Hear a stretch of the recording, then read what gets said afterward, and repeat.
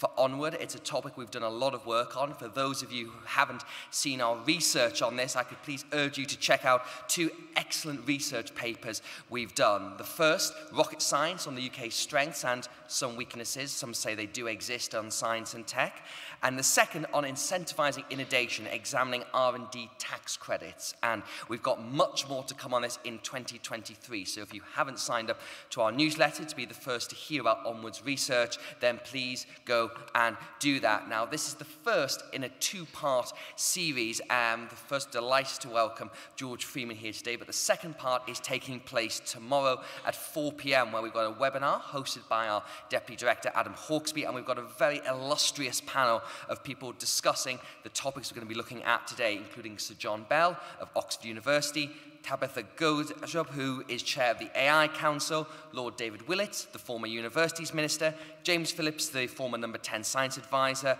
Priya Guha, who's the UK's former Consul General in Silicon Valley, and Richard Jones, the University of Manchester. So if you've not signed up for that, it's 4 p.m. tomorrow, and I think you will all very much enjoy it.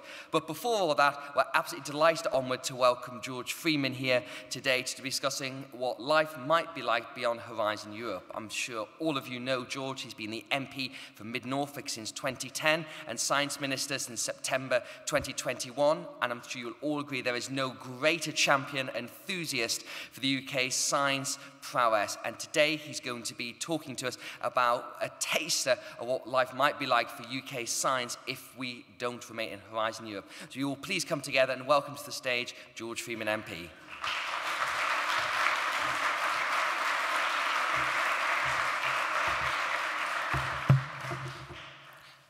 Well, Seb, thank you, and uh, welcome and good morning to all of you here and to the 500 or so online out there. Um, can I just start by saying, you know, good politics needs good think tanks, and think tanks come and go. Uh, Onward is doing brilliant work, and I just wanted to thank you for putting this together, a two-part panel, my speech and Q&A today, uh, and then the panel tomorrow with, as you've just heard, some real leaders in this sector. This is a big debate for the UK, and Onward is really helping to shape it. And also, Seb, a personal thank you to you. There's been no greater champion of levelling up and the importance of the modern economy, science, technology, research, and innovation in driving levelling up, which would be one of my key themes today. I think this is your first event in your new role at Onward, so it's a pleasure to be here with you. Uh, it's a particular pleasure, lots of familiar faces here today. Uh, for me, as Seb has said, I've spent 12 years in Parliament.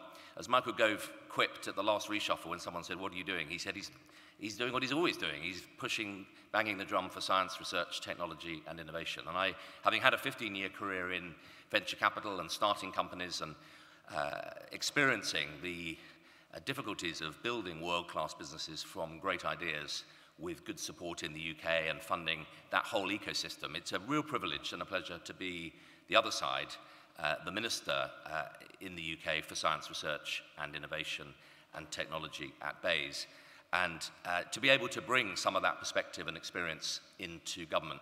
Uh, there's an old joke in Parliament, which some find funnier than others, that if you come to Parliament with any experience or expertise in a sector, uh, the whips will probably make sure that you don't end up working in that, uh, in that uh, area. And I've been lucky enough to uh, be the exception to that rule. to that rule in four roles as Minister for Life Science in the Coalition when we set out that groundbreaking 10-year first industrial strategy in the Coalition for Life Science, and we launched the genomics program. I mean, there was a moonshot for you, if there ever was one.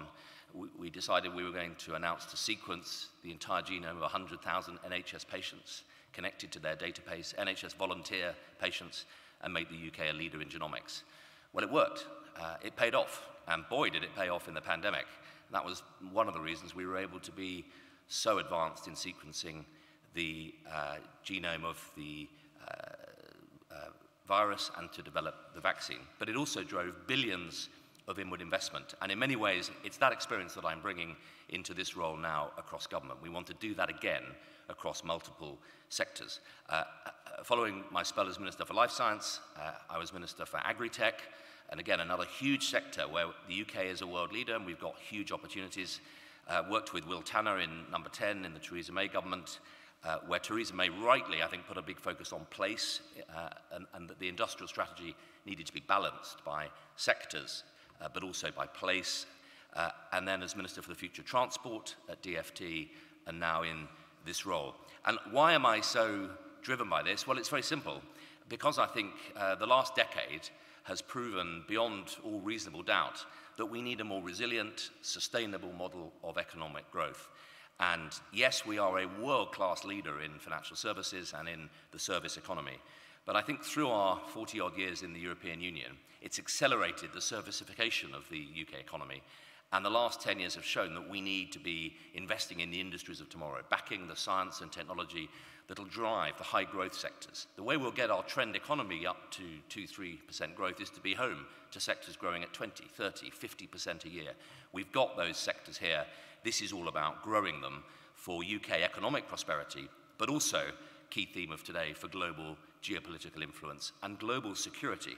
And part of what the last uh, decade, but also the last year, have shown the horrific invasion of Ukraine by Russia, the supply chain pressure, uh, the tensions geopolitically with China, the semiconductors, the, the resilience of the globalization of supply chains, I think has, uh, has been drawn into stark relief. And all of us are aware that we have to back industrial resilience, and we need to think a bit more about, as we are as a government, our supply chains uh, and our industrial strength uh, and resilience going forwards.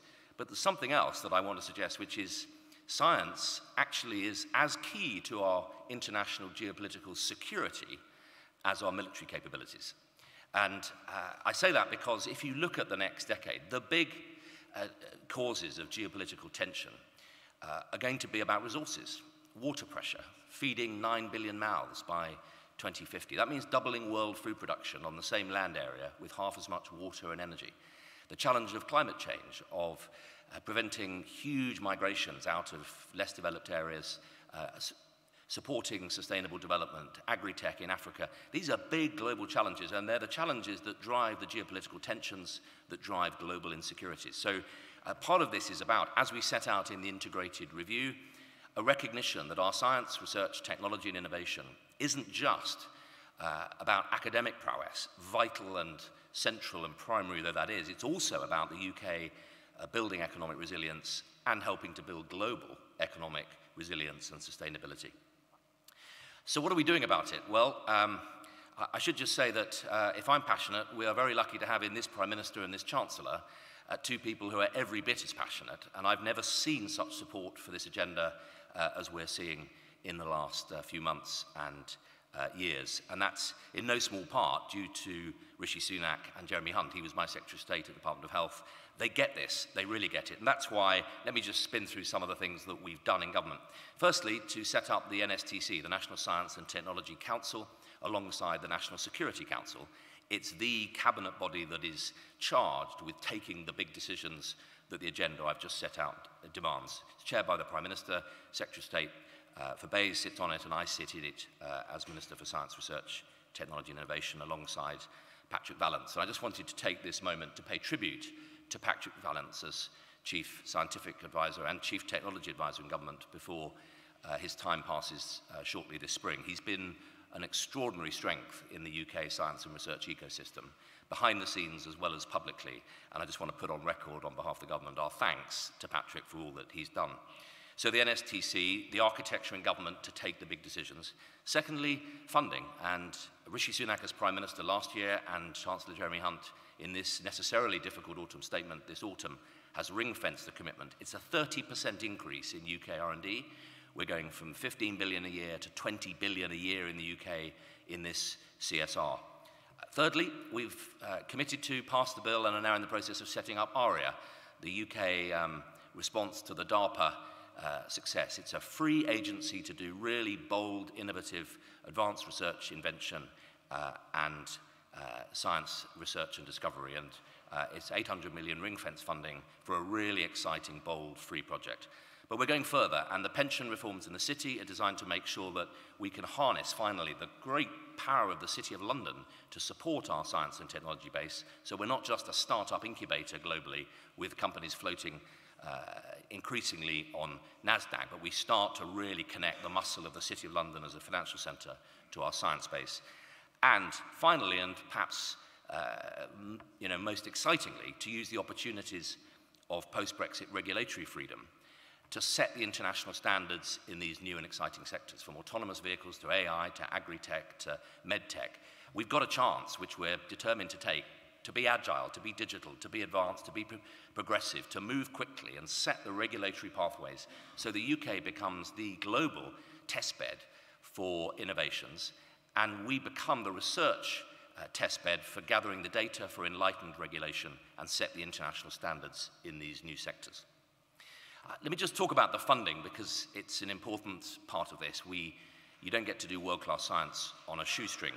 So, uh, firstly, we set out a commitment to reach the 2.4% target, which has been an important target in the UK. We've been historically in the last 40 years uh, in the lower half of the OECD R&D uh, spending commitment, and we set that target to get to 2.4%. I'm delighted the ONS have now, this year, confirmed that we're actually uh, they're doing the final numbers, but we're just short of three. We've, we've got to 2.8 or so. Great news, and it suggests that the last 10, 15 years have worked. Uh, it was a stretch target, and we're now looking at what the next realistic stretch target is.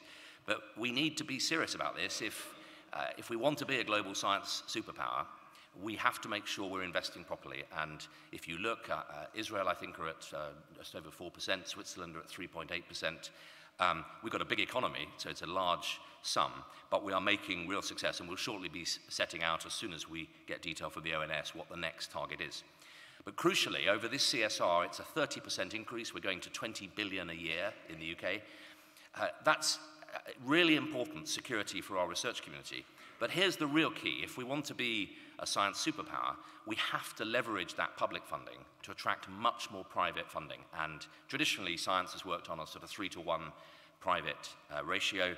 So we are working through in BEIS at the moment a business plan for how we can turn that extra 30% public into substantial uh, two or three X private funding over the next five, ten years. Uh, how much can we raise in life sciences, in space, in quantum, in fusion, in agri-tech, and start to think about them as business units in the UK economy? Uh, people can invest not just in companies, of course, but also in funds, in clusters, in infrastructure, in science parks, and we want to set out, and I'll say a bit more about this in a moment, a compelling opportunity for UK and international investors to invest in our science infrastructure. Uh, that's why we've set up a new unit in BEIS to uh, plan through how we uh, deliver that private investment, and we're working very closely with DIT, and I want to pay tribute to uh, Gerry Grimstone, who was a phenomenal powerhouse of support in this, and his successor, Dominic Johnson, who I'm working closely with. We want to be able to go around the world and make very clear to people how you can invest in UK science, research, technology, and innovation, in sectors, in companies, but also in clusters. And that's why uh, Michael Gove set out so powerfully in the Levelling Up white paper a commitment to uh, R&D uh, beyond the Golden Triangle, around the country to help drive levelling up. And it's why I've set up, I'm responsible for 75 odd percent of that total UK R&D figure, but the other key departments, MOD, DH, DFT, uh, DEFRA, uh, uh, also have substantial R&D budgets, and I've set up an informal interministerial group so that we as ministers and the chief scientists in those departments can support the NSTC with joined up Whitehall delivery. So that's the UK funding landscape. Let me just turn to the international in two parts, Europe and globally. So in Europe, uh, the big three programs, obviously Horizon, Copernicus, and Euratom, uh, we negotiated very carefully in that uh, uh Brexit deal uh, at the end of 2020 uh, and in the Trade Continuity Agreement, very careful to negotiate our membership of Horizon, Copernicus, and Euratom. We never wanted to leave those programs. We still don't, and we're still pushing for that association to be formalized. just to put on record so people are aware the how those programs are structured. So Copernicus is the Earth observation program, and we've made sure that uh, in the last year, through our space budget, uh, we've committed to 400 odd million in Earth observation, uh, 300 of which I've just put back into the European Space Agency Earth observation programs, in which the, uh, the UK uh, sector plays a key role, and we've got 100 million through the Space Agency here in the UK for Earth observation. It's a key sector. And on Euratom, we've been privileged and delighted to host uh, the uh, Joint European Torus at uh, Culham, which this year set out that, those spectacular results alongside the Livermore Lab in the US. Fusion energy, commercial fusion energy now within reach, and we're determined to deploy that, and we're working with UKAEA to invest and support the industrialization of fusion. Uh, so uh, those two, uh, we have strong plans in place. Uh, we're still pushing to be involved in those, to be associated in those two programs. But let me turn to Horizon because it's the big one. It's the world's biggest research club. It's over seven years, about 95 billion euros. The UK has been one of the top two or three players uh, for years. Uh, and we put in, uh, I think in the last round it was uh, 14 odd billion. Uh, and we get back, quote unquote, get back about 90% of that because Uh, the UK research sector is so strong, and we end up through our universities and our institutes leading so many of those research programs. And that's why we've been so committed to uh, uh, pushing to complete that association, and we continue to do so. It's in three pillars the talent pillar, uh, which is completely key. Uh, we have in the UK a very, very high proportion of the top ERC professors, they are senior people anchoring key labs. And we want to make sure that uh, they're able to remain here, either through ERC membership or through our supporting them. There's an industry pillar. Um, uh, we don't do so well on the industry pillar, but there's some important projects for companies like Rolls-Royce and a lot of university small companies. Uh, the innovation pillar, you might expect us to be a big beneficiary. Actually, we're not, uh, interestingly, which I think is to do with the way this, uh, that pillar is structured. It's quite academic uh, and perhaps not suited to small companies so much. So uh, that's the picture in terms of uh, what we're currently doing through the European programs. And globally, beyond Europe, uh, we've invested heavily in the last few years in the Newton Fund and the GCRF. And uh, those programs, the continuation through this CSR is about 400 million. Uh, and I've just announced before Christmas with the Chancellor the first tranche of the International Science Partnership Fund, which is the successor, 119 million. So in this CSR, it's about half a billion for global science and research. So that's the picture uh, today. Let me just set out the mission that we are pursuing. Uh, many of you will have heard me refer to these terms, and I want to unpack them so that they're clear. Science superpower and innovation nation. And why do I put it that way? Well, for this reason. Being a science superpower is different from being an academic powerhouse. I mean, it is built on that academic leadership, um, but it's a slightly different uh, agenda, and I want to define it for you as I did in Tokyo in my big speech before Christmas. Being a science superpower, I think, means a few really key things. Firstly, continuing to be an academic powerhouse. If you're not leading in the uh, key academic blue sky discovery research, that's the pillar on which everything is built. Secondly, for global impact. We want to make sure that we're using our science leadership to help tackle the great global challenges, from climate change to uh, clean oceans, safe space, agri-tech, the big challenges I just talked about. Thirdly, global careers. You know, science is a collaborative venture, and we need to make sure that the best scientists here in the UK can go internationally and come back, and the best international scientists can come here. Fourthly, industrial R&D. If we're going to be a powerhouse in this global economy, we have to attract much more international money. There is a wall of money out there. And the number of people who say to me, I'd love to invest in this ecosystem, how can I? Uh, so that, that's why I'm confident that we've got the opportunity to do it. But do it, we must. Fifth, it's about values and insisting that good science, and uh, I use the term scientia to mean not just a pretentious Latinate word, but the whole culture of science. You can't do science behind a closed wall. You can't do science without a commitment to free speech, to free thinking, to open data, to sharing, to peer review. And if we're going to be a muscular force for science in the world, then we have to have that fight and get behind the values behind open science, which do underpin free speech and free societies and liberal democracies. So research security is a key part of that. And finally, harnessing all of that demonstrable UK commitment for heightened geopolitical soft power and influence. And this is a part of the agenda I think often gets overlooked. I'm very privileged as Minister for Science, Research Innovation to have 120 science, research, technology innovation staff around the world in the Science and Innovation Network, embedded in our embassies. That's how strong the global commitment is in the UK. We need to use it to make sure we're really attracting uh, that investment and growing that geopolitical footprint. And that's why in the last uh, 15 months, I've been around the world uh, to Israel, to Switzerland, to Japan, to the big R&D countries to establish and set up uh, deeper R&D collaborations with those countries, all uh, in the same format, three pillars, deep science collaboration, commercial collaboration, and government-public policy uh, uh, collaboration. And through the G7 and the G20, through the Eureka, the Northern European Ministerial, pushing to make clear that the UK is ambitious to be a global force through Europe and beyond. And we're looking at a whole range of opportunities. Uh, you know, in a world where China is spending uh, annually 240 odd billion dollars, uh, America's at 180 science. If you include a lot of the defense science, it's near 300 billion. We're going to 20, which is brilliant.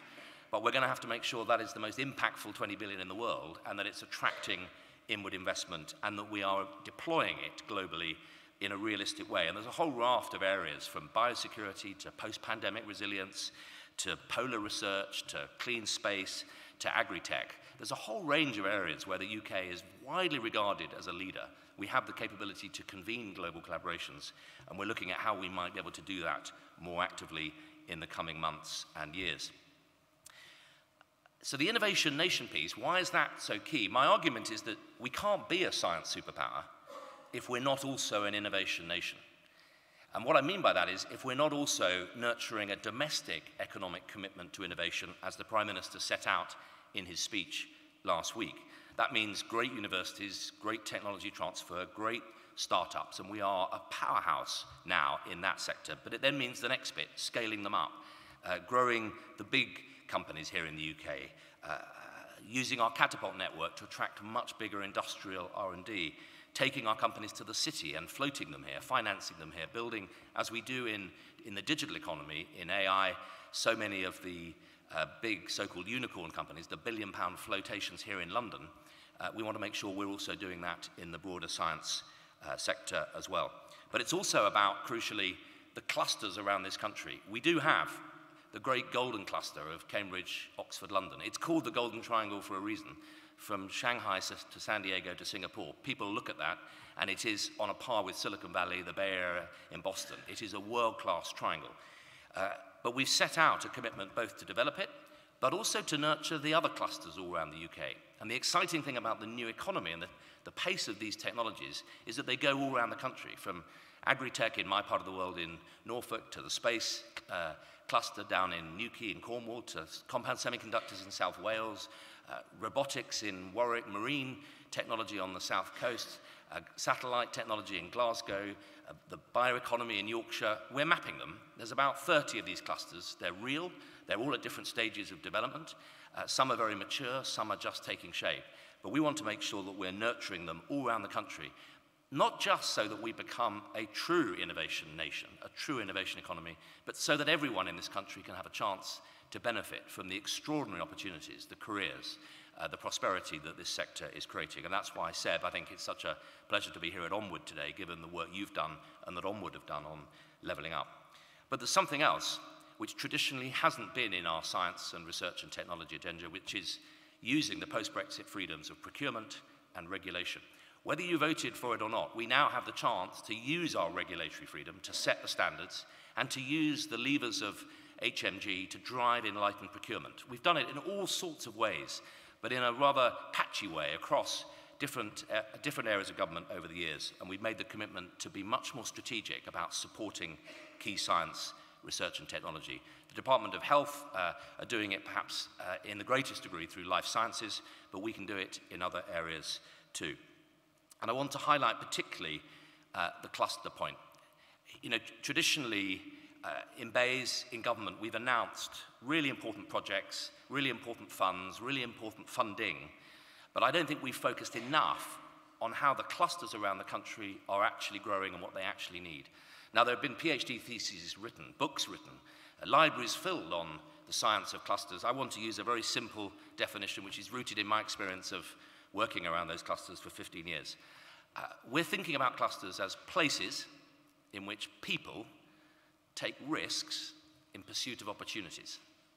Uh, the risk could be, as a scientist, leaving the safety of a university job and doing a startup. The risk could be an entrepreneur mortgaging their house to start a company. Uh, there are all sorts of risks. Places in which people take risks in pursuit of opportunities. And the best definition of a cluster I've still ever heard is from Dr. Andy Richards, founder of Vectura, a great Cambridge biotech angel, who said, look, a cluster is a low-risk place to move your family for you to pursue a career in a high-risk sector. And what he means by that is, it isn't a high risk to move your family to Cambridge. If your particular company doesn't work, there'll be hundreds of others, thousands actually.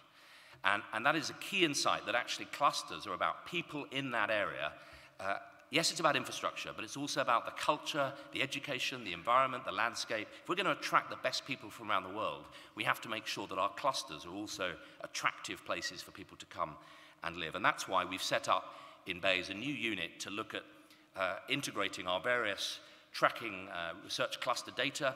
We're working with DIT and we'll shortly be setting out a new integrated tool for digital tracking of these clusters both as a policy tool in BEIS, but also as a tool for local leaders to see what the obstacles, what the barriers are, and where we can help.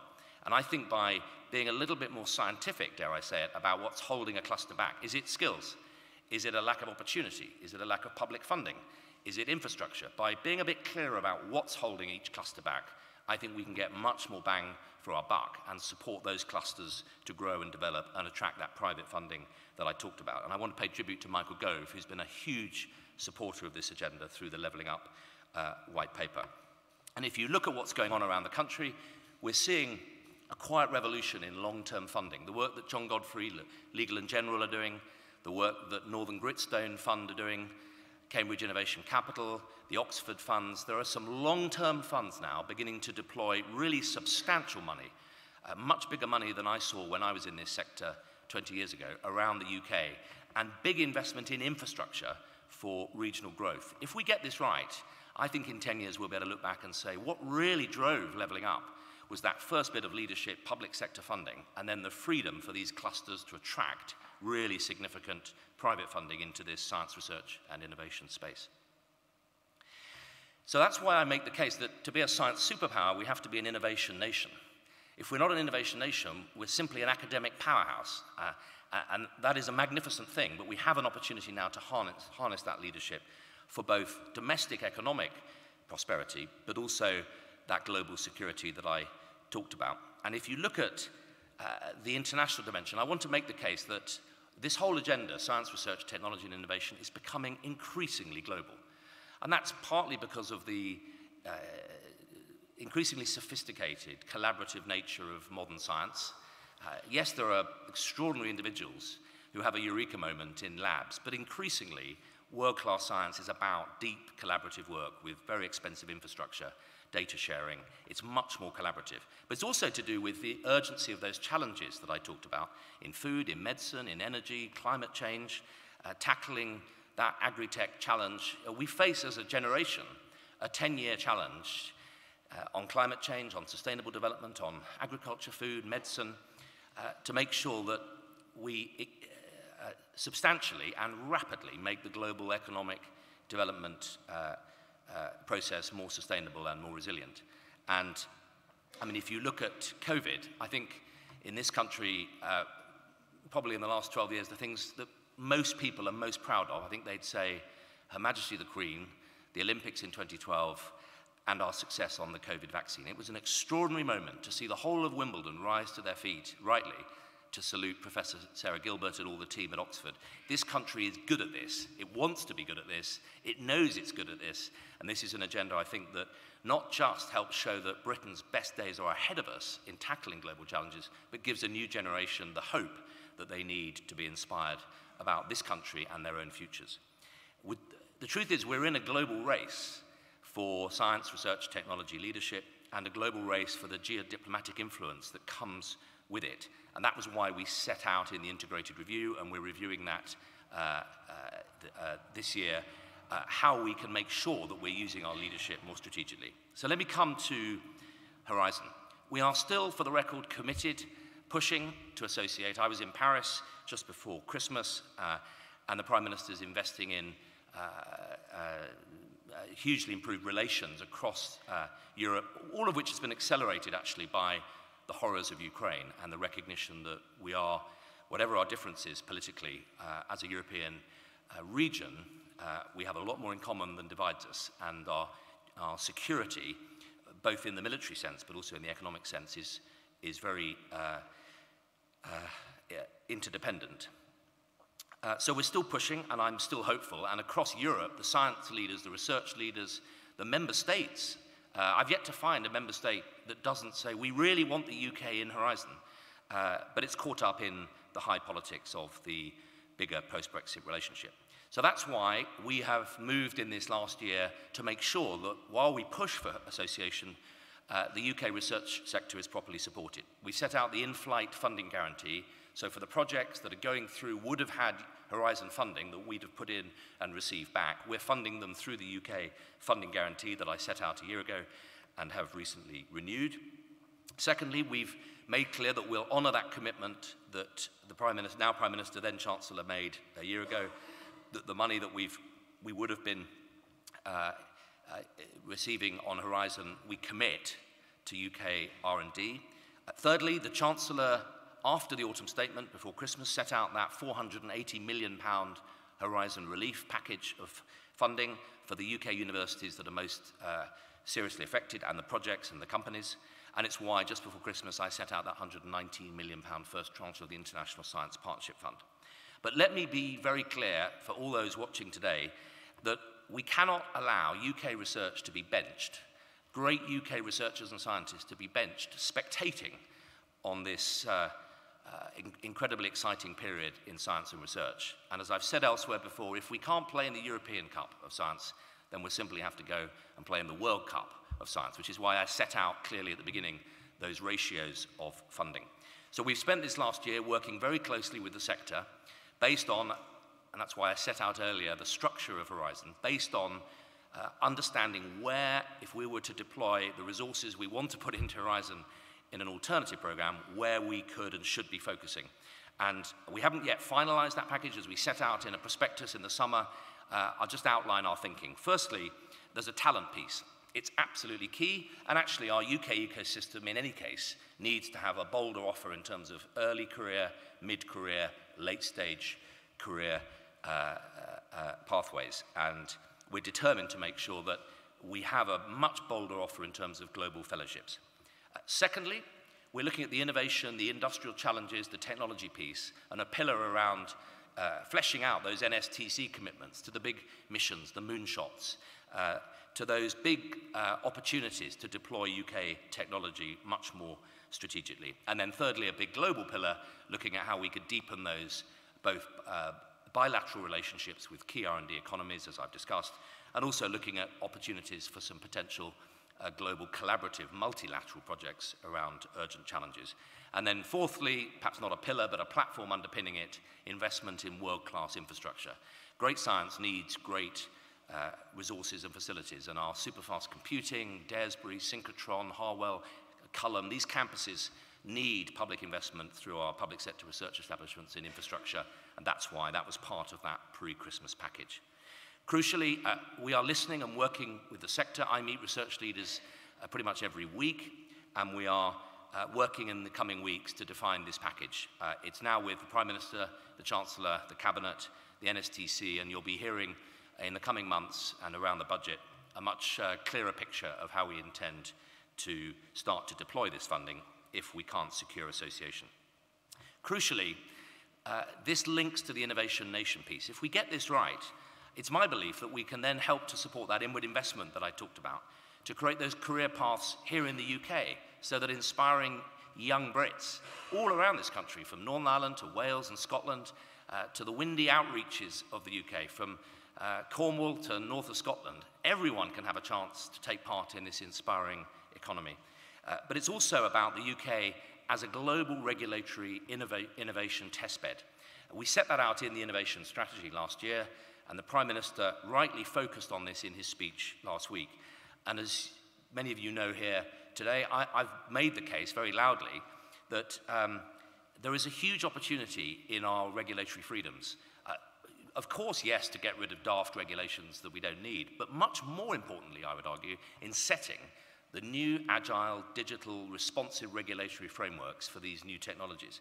Because the truth is, whether it's autonomous vehicles or AI or nutraceuticals or medtech, what actually investors need is confidence that there's a regulatory pathway, confidence that if they come to the UK, we may not be paying the highest price. In fact, I can guarantee through the NHS, we don't pay top prices. We don't pay uh, expensive prices for the latest technologies. What we do do is provide access to uh, incredible facilities, incredible NHS hospitals, research hospitals, and data. And the opportunity for the UK is to be a global testbed And that's why, as Minister for Life Science, I set out that accelerated access reform uh, which successive ministers have taken forward. The opportunity for us is to be a global testbed. You come here to get your innovation proven to work in the UK. You get the data package.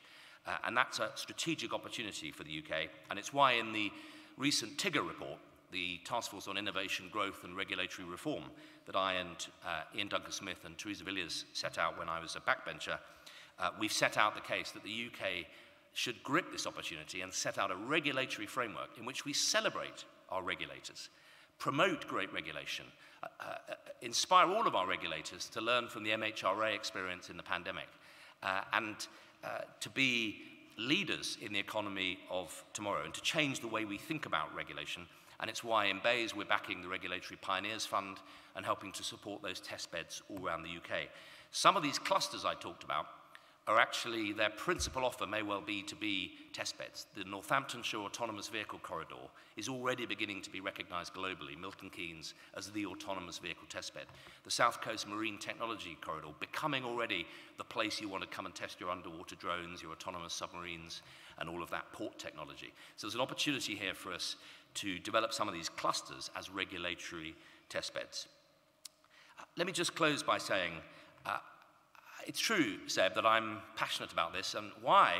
It's because I think not only does this agenda create the opportunity for us to build a more sustainable, resilient, productive economy, to get out of the uh, cycle of uh, boom and bust that being a, uh, an over-reliant service economy inevitably uh, uh, makes us uh, more vulnerable to. This is the deep industrial and new, new economies of tomorrow are growing substantially. That's guaranteed. So by having a greater exposure, a greater presence of those companies here in the UK, I think it'll give us a much stronger economic uh, commitment to resilience and prosperity uh, as a UK PLC. Uh, and that is crucial because that's how we generate the money that pays for the modern public services. And there's an exciting part of public service innovation in this, uh, in the NHS, but also in, uh, in government. The digitalization of government creates opportunities for us to be more of a testbed in terms of adopting innovation in public services to drive that productivity. But it's also about leveling up. I think if we get this right, we'll, we'll create that private, long-term, sustainable funding flow to drive forward the regional economic prosperity around the country and to create that rebalanced economy that we've set out. But it's also, perhaps more importantly, about opportunity and to give people around this country the chance to partake in uh, what I think is the most exciting bit of our economy. But there's something even more that I want to close on, which is it'll give this country, I think, if we can look globally and be a more active player, a more muscular player in tackling those global grand challenges, I think it'll help answer that old challenge from Dean Acheson that Britain lost an empire and it's not sure what its role is yet. I think there's an opportunity for us post-Brexit to unlock a much stronger global commitment, the UK as a science superpower and an innovation nation, helping tackle those global challenges. And I think that is not only inspiring for this country, but for the next generation to believe that this country's best days are ahead of us. Thank you.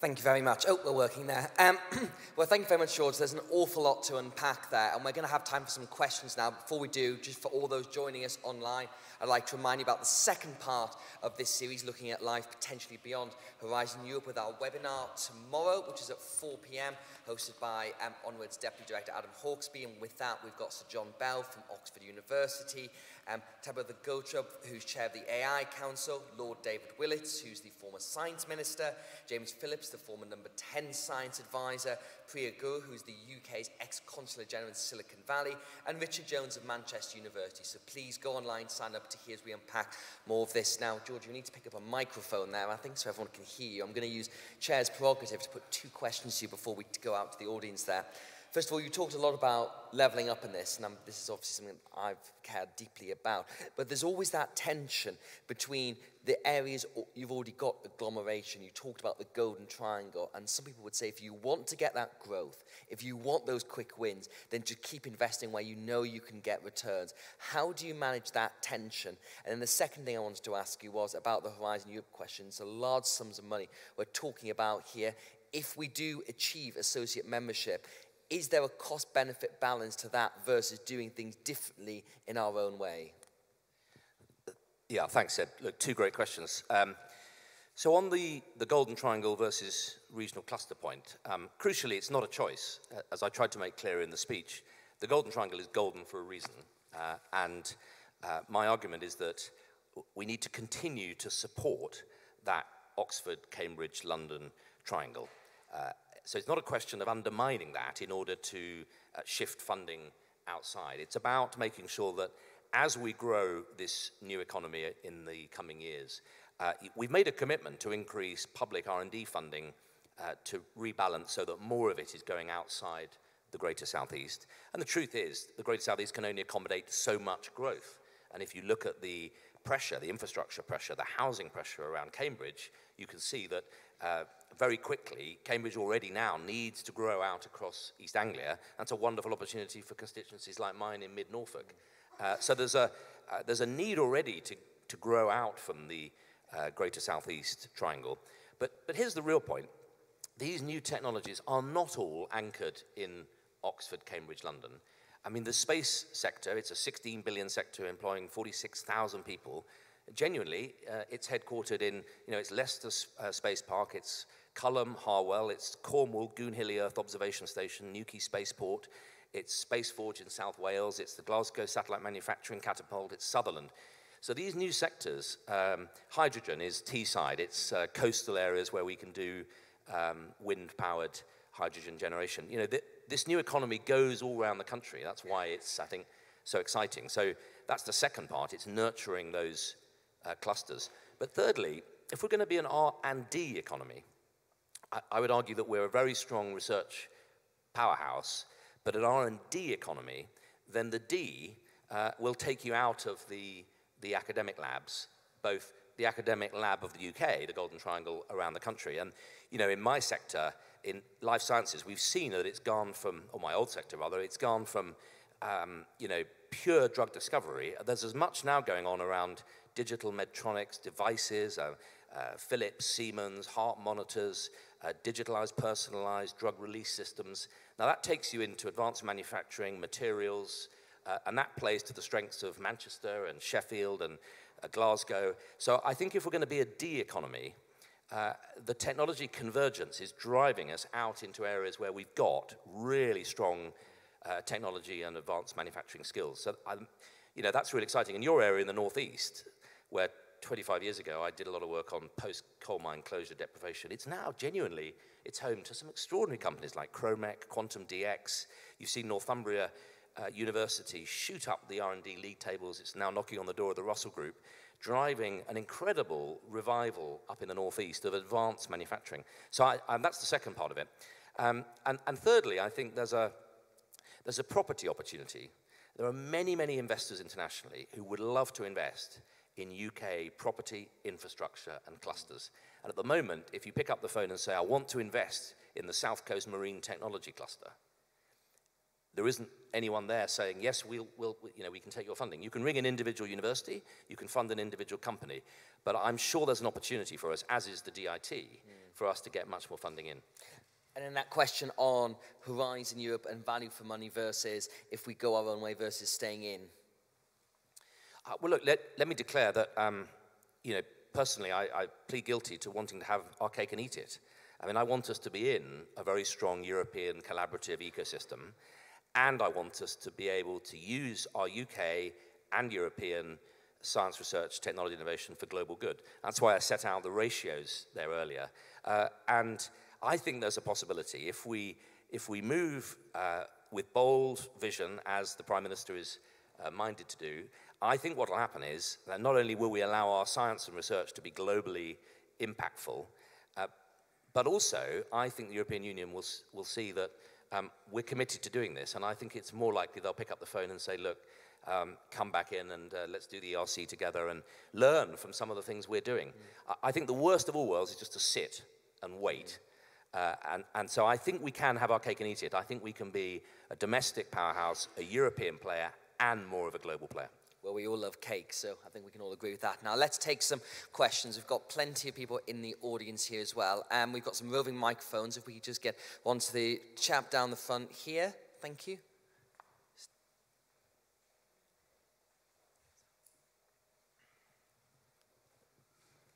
Just fell in the glass here, thank you.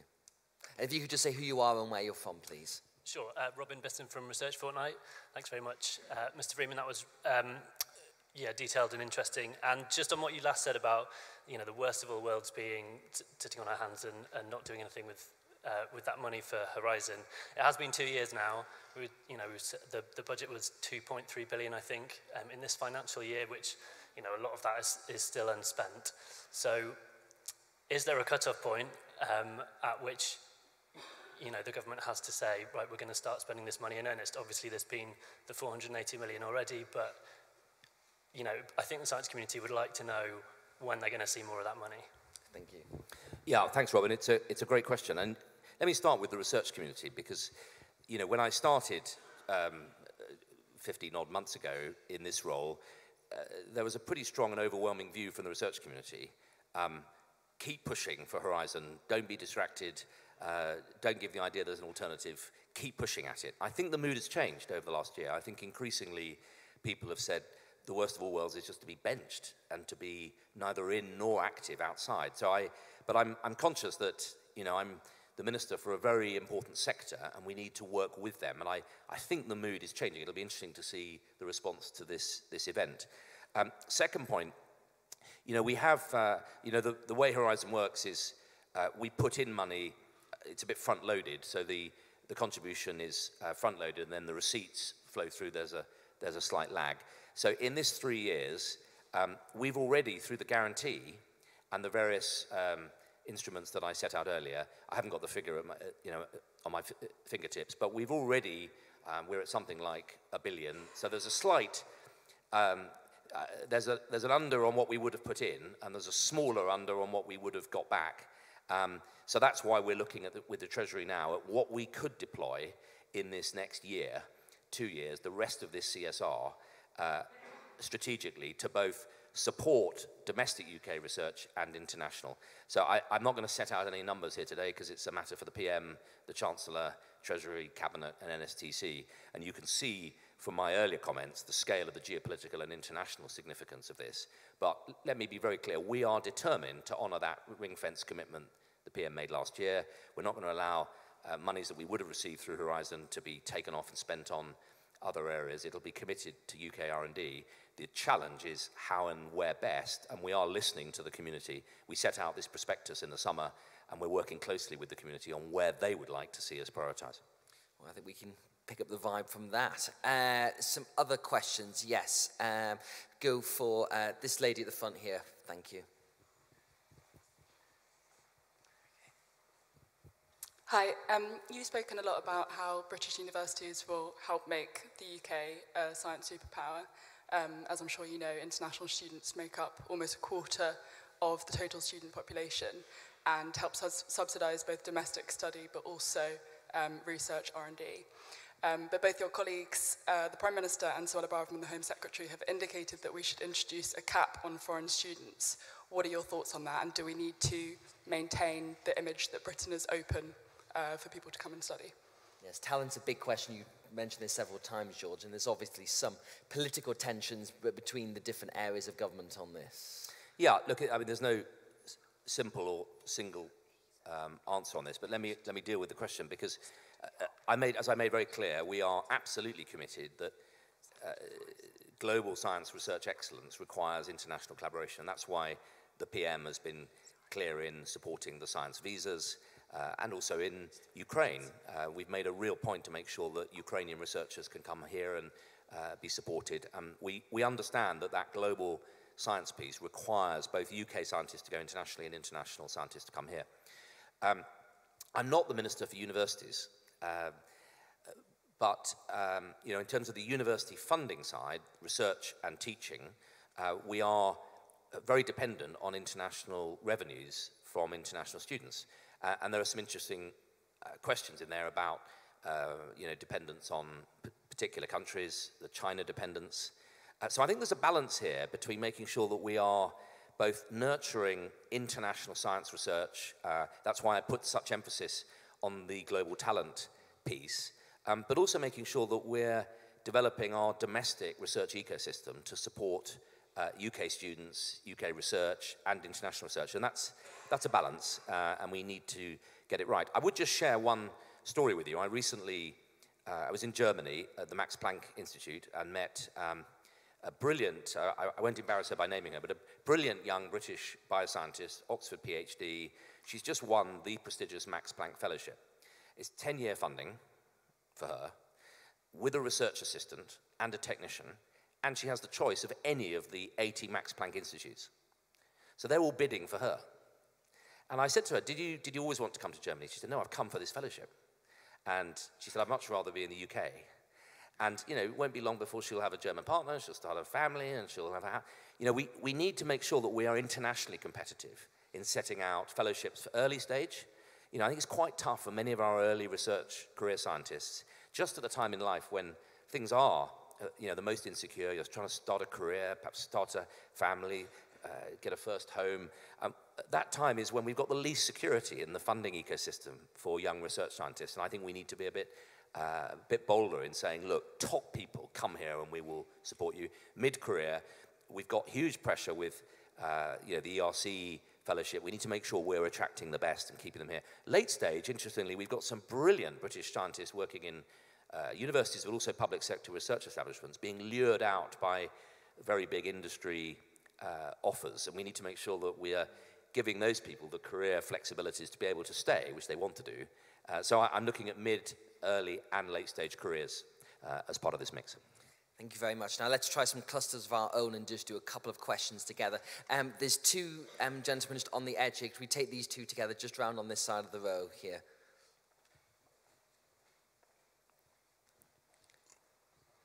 Just making sure everyone gets their steps in today by going up and down as much as possible. Just these two gentlemen, just take these two together. And just if you could say who you are and where you're from, please.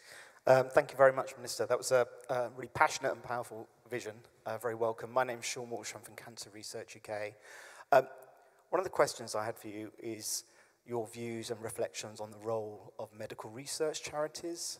Um, often overlooked, if I can stretch your football analogy, sometimes we don't even make the subs bench, but we are absolutely um, unsung heroes, I'd say. And I, I would take Cancer Research UK as one example where you know, our research has generated over 900 million pounds worth of economic benefit, your point about global UK PLC, and our partnerships with the National Cancer Institute in the US on the global cancer challenge, which is daring to think differently about these challenges, is really powerful, but I think we're sometimes outside of the view of these discussions. Thank you. And we'll just take the other one from the gentleman behind. Hi, Charlie Clegg, Hawthorn Advisors. Um, on clusters, I'm thinking of space in particular, there's a need to um, work with local and devolved, in particular, governments. I'm just wondering what the state of relations is between you and the UK government and devolved and local governments and how you balance what's, uh, what helps and where that perhaps hinders the uh, creation and sustenance of clusters. Thank you. Hey, thank you very much. Two great questions. Um, uh, on charities, you make a really important point. It's, uh, it's, an, it's a unique strength of the UK ecosystem, actually, in medical research. Uh, when I was Minister for Life Science, I uh, put a lot of emphasis on this, that if you look at both, both in terms of deep blue sky science and research, but also patient care uh, and near patient um, medicine and health, uh, we have a huge strength. So on the deep science research space, you know, the MRC um, sits alongside the Wellcome Trust, um, Cancer Research UK, the biggest of a very big ecosystem of medical research charities. And as we think about how we deploy public funding, one of my conversations with UKRI is we need to make sure that we're aware of what CRUK, Wellcome, other charities are doing, and we're deploying public funding to support but not duplicate uh, that funding, and, and to recognize that alongside that here we've got GSK and AstraZeneca and thousands of other companies. So we need to make sure that we're we're cognizant of where the public research pound can add most value, and we need to be doing the things that no one else is or can really do. Uh, but also closer to the patient, I think the, the smaller charities, you know, some of the like cystic fibrosis and some of those charities that are uh, leading in supporting patients with uh, some of the rare diseases, the, the untreatable diseases, they're also absolutely key to patient empowerment, to working with patients, enrolling them in trials, uh, to driving that accelerated access trials medicine piece. You know, in the end, if, we, if we're really going to deliver the life science dream of the UK as a research engine, patient compliance, patient support, patient empowerment, uh, patient support for data, for enrolling as patients did in, volunteers did in genomics. That'll all come down to patients, and patients typically will um, mediate through their charities. And I think there's, I, I, I coined the term philanthropharma uh, when I was Life Science Minister. There's a huge opportunity for us to uh, allow our charities, medical research charities, to drive much more innovation, both in terms of research, but also medicine and healthcare. Uh, to your very well made point about uh, the union, look, I think I, I didn't dwell on it in this speech, but I think one of the exciting parts of this agenda is that it strengthens the union. Uh, and uh, you know, Michael Gove made that point in the Levelling Up white paper. This is an area where we are absolutely stronger together. And if you talk to the Scottish research community, they will tell you uh, they really want to be in a united kingdom uh, of research and innovation, or the vast majority will. Uh, and the truth is, we've got real strengths. You know, in Northern Ireland, Belfast, uh, Queen's University, cancer research, the medical technology cluster, in Scotland, in Edinburgh, in Glasgow, um, and in South Wales, Swansea, Cardiff, North Wales. You know, there's, there's real strengths all around the country. Um, so to your point, actually, the, I think one of the first things I did when I first came into office 50 months ago was pick up the phone to the science ministers in the three devolved areas. They were quite surprised. It just seemed to me straightforward. And I said, look, we'll have political differences. Uh, there'll be things that you want to criticize me for, and I, I understand you've all got you know, political games to play, but let's have a forum where we get together and we share and we talk and we discuss. Uh, and I just think it's, it's, well, it was very welcome. Uh, next week I'm going up to Scotland uh, I've already been to Wales and to Northern Ireland. So I, I think there's a huge opportunity for us here to, to support and nurture the pride of our devolved areas. Uh, you know, Wales is rightly proud, Scotland's rightly proud, Northern Ireland rightly proud. This isn't an either or, it's about us signalling that together uh, we will grow those clusters for the benefit of everyone.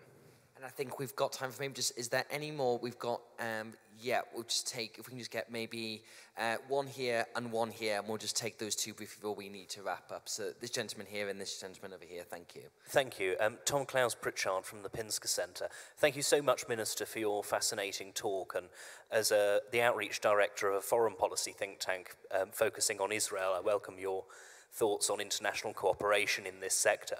But one thing I wanted to draw your attention to would be the, the private funding, uh, whether it be through donations or seeking to make profit from some of these fantastic innovations.